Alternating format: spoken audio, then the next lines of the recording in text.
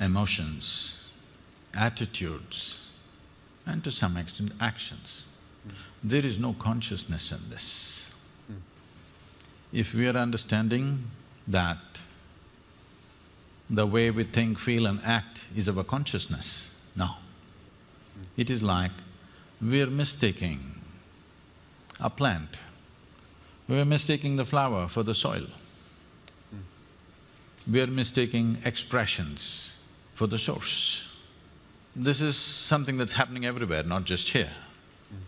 People think by changing attitudes, their consciousness will change. No. By changing attitudes, certain actions will change.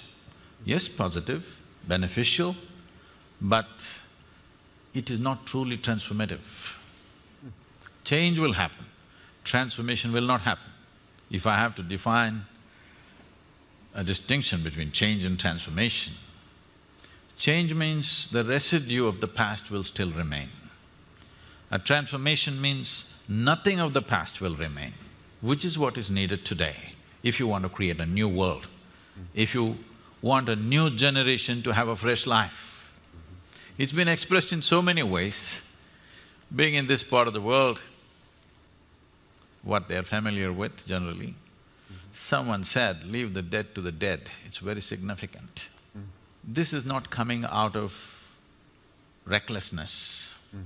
this is not coming out of unconcern, but this is coming with the concern that you must be a fresh life. Mm-hmm. You can learn many things from the past about how to conduct yourself, but there is nothing to learn from the past about how to be.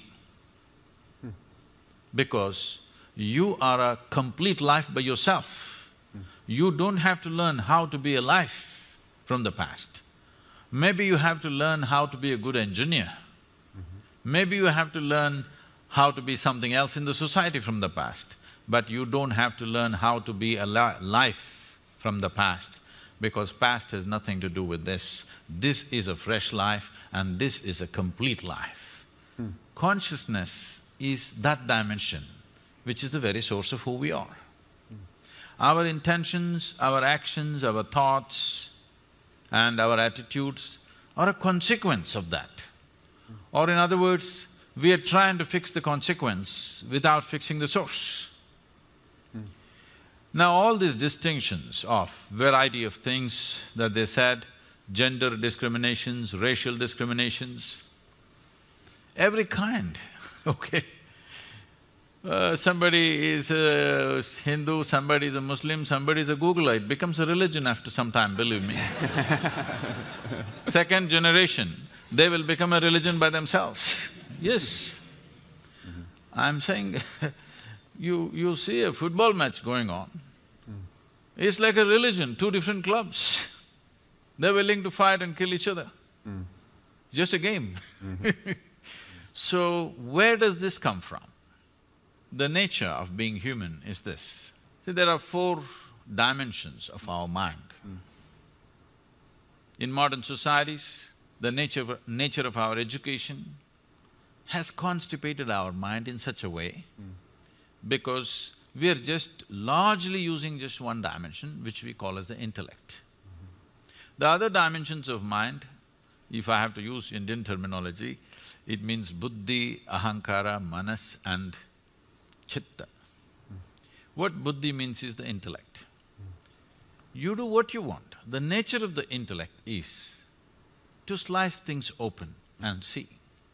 If you leave the world in the hands of your intellect, your intellect will chop it into a million pieces and will want to chop it into further micro pieces and want to chop it into further micro micro pieces depending upon how sharp your intellect is. Mm -hmm. The sharper your intellect, the more you dissect the world. You cannot stop it because that is the nature of the intellect and it's good. So you must apply intellect only to know the material aspects of life. You can't know life this way. If I want to know… if a doctor wants to know uh, some aspect of you materially, what's wrong with you, he will take a biopsy and in a way, mm -hmm. he opens it up and looks at it. Mm -hmm. It's okay on that level. But I can't know you as a person mm -hmm. by dissecting you. I can't know you as a life by dissecting you. I can know a part of your body. maybe. Similarly, I can know parts of the world to make use of it, but I can't know life as such. So intellect has been over-eulogized. In the last 100, 150 years, this is a European impact on the rest of the world, where we think our thought is supreme. Someone went to the extent of saying, I think so I, so I exist or whatever. I want to ask all of you a simple question. Tell me, is it because we exist we may think? Or is it because we think we exist? Which way is it? Hello? because we exist, we may think. Because people are in such a state of mental diarrhea all the time, non-stop it's going on, they think it's more of an existence than existence. Hmm. But my head is all the time empty unless I want to think about something. Hmm. So I know thought is not necessary, I can just live here without the thought. When I want, I will think, otherwise I'll keep quiet. Just like my hand, if I want, I use it, otherwise I keep it here. Similarly, you must be able to do this with your mind. Just because you lost control over your mind and you think it's everything because it's entering into every aspect of your life where it has no business. Hmm. Thought has been over-eulogized by people. And the very nature of the thought is such that if you think, it must be logical. It cannot be any other way. Well, what somebody is thinking may, Ill, may look illogical to you, but they have found their own logic.